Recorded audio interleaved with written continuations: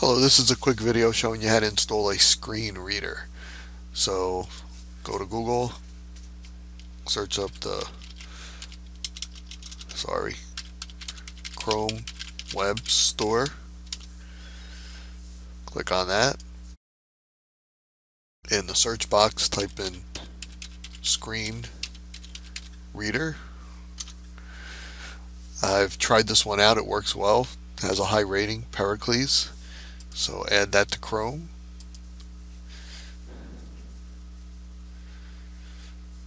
It comes up with a tutorial. To get this thing to run, all you have to do is go up here in your Chrome browser, click their little icon, and say play. Pericles has been added to your browser. And it reads the web page for you. Thank you for installing this app. Check out this quick tutorial. After reaching a page, open Pericles by clicking the extension icon. Click the settings icon to change the voice or to customize your hotkeys. Thank you, I hope you enjoy the Pericles experience. And there you go. And that's how you can get your page read to you.